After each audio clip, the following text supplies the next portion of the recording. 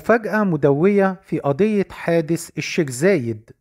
أعلن محامي كريم الهواري المتهم في دهس أربع طلاب في حادث الشيخ زايد الشهير والمتهم أيضا بتعاطي المواد المخدرة أعلن محاميه الإفراج عن موكله بموجب عفو طبي بعد قضاء نحو عامين في السجن. وكانت بداية القصة في يوم 12 ديسمبر 2021 عندما دهس كريم الهواري ولمن لا يعرف هو ابن رجل الأعمال الشهير محمد الهواري صاحب سلسلة هايبر ون الشهيرة حيث دهس أربع طلاب كانوا في طريقهم إلى منازلهم وكانوا راكبين سيارة أحدهم وكان كريم الهواري راكب عربية فارهة بيزيد ثمنها في وقتها طبعا 4 مليون جنيه وكان بيسير بسرعة عالية جدا على حسب كاميرات المراقبة وعلى حسب شهادة الشهود في شارع النزهة بمحيط النادي الأهلي بالشيخ زايد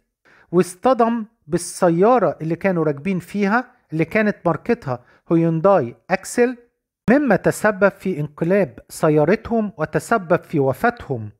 ربما يكون بريئا. أنا يوسف ربنا يجعلني سبب يا حبيبي إن حقك يرجع. أنت والثلاثه اللي معاك. إن ضفر واحد فيكم يسوى عشرة هواري باولاده بفلوسه بملايينه ويا هواري بقول لك ولادنا مش صراصير يتداس عليهم.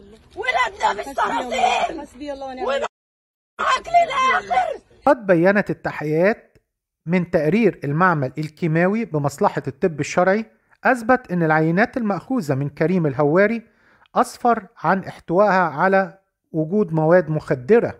وكان قد أمر النائب العام السابق بإحالة كريم الهواري إلى محكمة الجنايات المختصة لمعاقبته عما أسند إليه من اتهامات منها ارتكاب جريمة القتل الخطأ التي نشأت عن إهماله بقيادته سيارة بسرعة هائلة جاوزت السرعة المقررة قانونا تحت تأثير تعاطي المادة المخدرة المشار إليها ومادة أخرى مسكرة دون مراعاته المسافة بينه وبين سيارة المجني عليهم فصدمها من الخلف متيحا بها فحدثت إصابتهم التي أودت بحياتهم فضلا عن اتهامه بجنح أخرى.